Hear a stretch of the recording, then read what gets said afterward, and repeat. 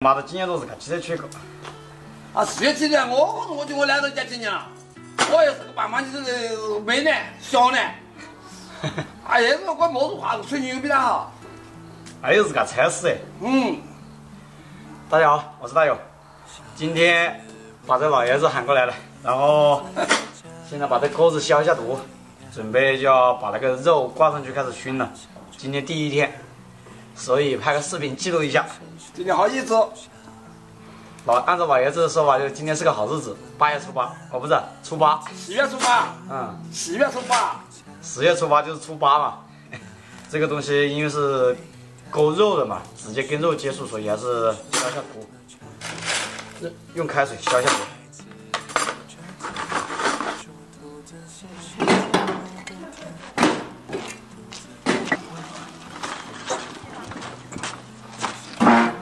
开始搬红砖。围一个那个坑，就是搞那个柴，放那个灰尘的。哎，那天有个现在跑两路军都没劲了。哦，就辛苦这老爷子，因为这样大批量的还没有经验，老爷子今晚上还会在这里睡，就是指导我一天一夜。昨天刚来，我看有好多地飞机嘞。哎呀妈的，多点火土！来，小骆驼阿姨家拉拉一点那个烧柴的灰。以往那个灰都不用，现在到了关键时刻还要各个邻居家里来找来借，借这个烧柴的灰，基本上都没用的。这个同志们现在烧柴的越来越少，都是烧煤气。好多年怎么取缔？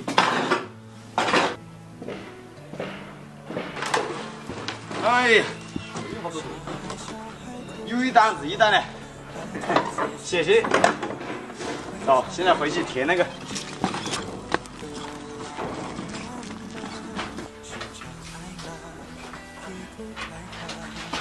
你弄哪了去？好不对，弄个三头我来取。我我只弄一担。不带给我弄那个。等啊等啊，完了后把灰抓了，好多屎消出来的，那就扔。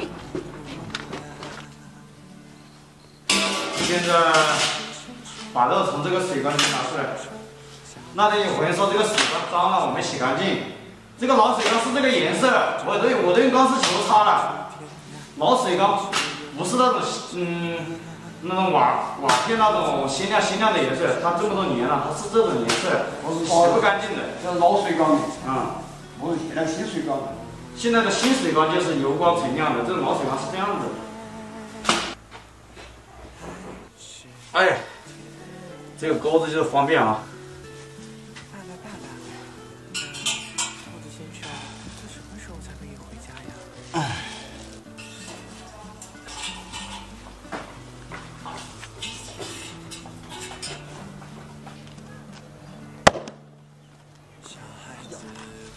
这里面好热，如果嫌哪哪个朋友怕冷。就来我这里度假吧，有些就好难挂。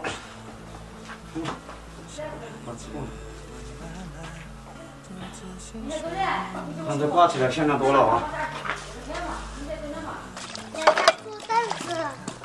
不要，差不多完了。谢谢啊。这白手有两年，找好账回来去了。来多，也都不好久。你 你家就晓不晓得意了？现在开始要起火了，老爷子把这个弄条钩出来，我妈在弄之前烧火的那个嗯炭。我爸的眼色还是准一点。在起张师傅呢。我劈柴不行，我劈柴 这个近视 劈不准。好。高了。高。啊，一片对。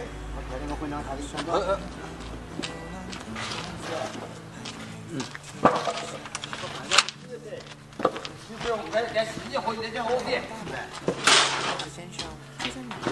哎，这个坑有点大，需要的柴也不少啊。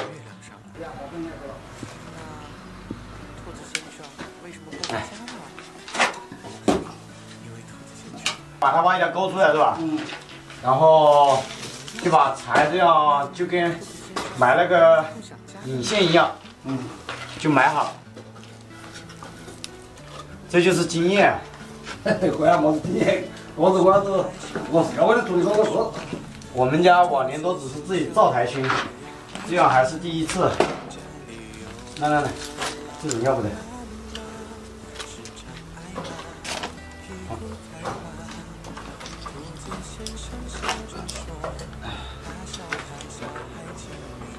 我在旁边洗过，不着急了。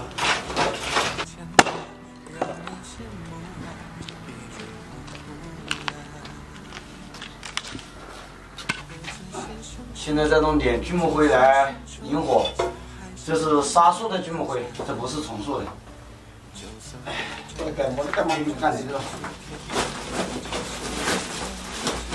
这是一个啊，没有我俺第四月没有我干干么灰。可是哪个嘞？来来，可是看这个，你看老爷子拍好位置哈，我爱你知道，你也知道。